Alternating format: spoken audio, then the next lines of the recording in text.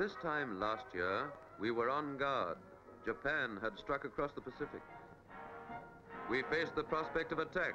The war might come at any moment to our very shores. We prepared our defense. Over the outer waters went aerial patrols. Even children helped to fill sandbags. Our army was on the move.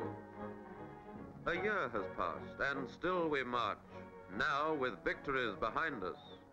But we're still ready to defend our islands, still on guard this Christmas. And talking of Christmas, here are four young people to whom it has this year a special meaning. Ted Boozy, an ex-driver with the NZEF in the Middle East. William Hua, who speaks for China. Ina Lysienko, Soviet citizen. And Private Robert Benton of the United States Marine Corps.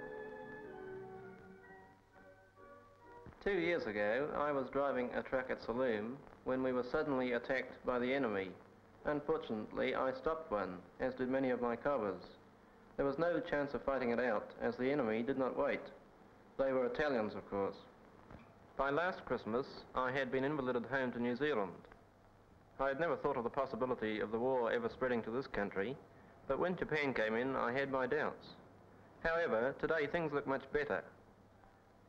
But we must not lose sight of the fact that there is a long and hard road ahead of us. God's own country is worth fighting for, believe me. And we will do this for years if necessary, just as the Chinese have fought for their country. Since 1931, my country has been at war. The dark Christmas of that year saw Manchuria taken from us with the same characteristic treachery which was later used against Pearl Harbor. The Christmas of 1932 looked back on the heroic defense of Shanghai, which suppressed the war to a smoldering flame till 1937, when it flared up again in all its intensity. But we fought on with determination, encouraged by many victorious battles, until by last Christmas we were joined by the other anti-fascist peoples. We were no longer alone in our fight against the common enemy. But this Christmas, things are even better. Yes, this Christmas, we can join with our allies in looking forward to the final victory. Yes, victory will be ours. Even during the blackest month in the past year, Soviet people said calmly and confidently, just as they say today, that victory will be ours. We Soviet people say this knowing that there is no fascist army in the world to which we would yield either our freedom or our socialist motherland. The truth of this has been proved during the past dramatic year by the superhuman endurance and determination of Red Army soldiers at Moscow, Leningrad, Sebastopol, Stalingrad, by the self-sacrificing spirit of Soviet workers and peasants led by our wise and beloved leader, Stalin. Hitler must and will be destroyed.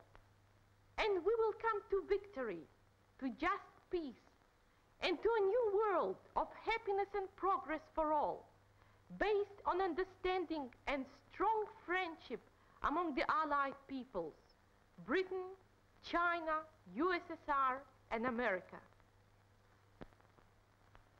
My friends, as our president always says, the basis of the world of the future has already been laid in the Atlantic Charter.